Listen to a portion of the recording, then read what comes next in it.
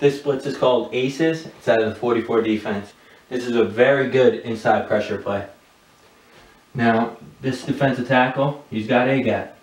This defensive tackle is going to slant to B.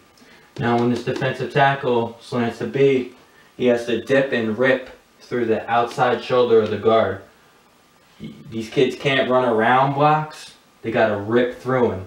He must maintain his B gap responsibility. This DN is going to have C. He's going to be the primary contain player on this side.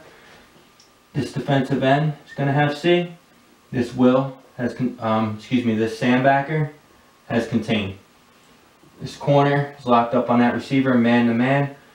He must maintain inside leverage. Do not allow any inside releases. You could have him up in press or you could have him off, giving some cushion.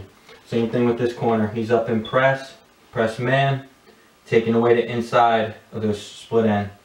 You could have them in press or you could have them off, whatever, whatever you want to do, but no inside releases.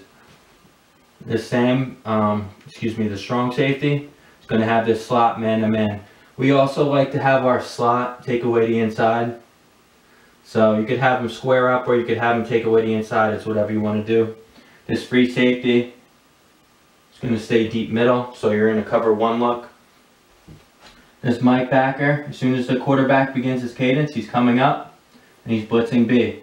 We want the Mike right at the line, right on the line as soon as he blitzes. Blitzing two, three, four yards back isn't going to do anything.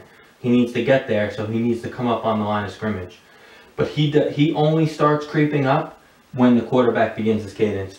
Same deal for the Will here, Will backer. As soon as the quarterback begins his cadence, he's going to creep up.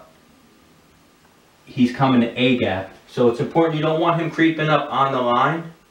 You want him about two yards away from the line so he could slant real hard to A gap. And if you want to cheat him over,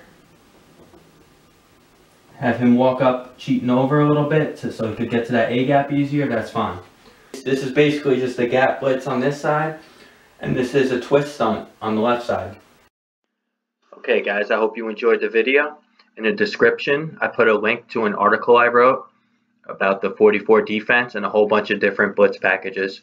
It's an excellent article, goes into great detail, it has play diagrams and videos for every blitz package.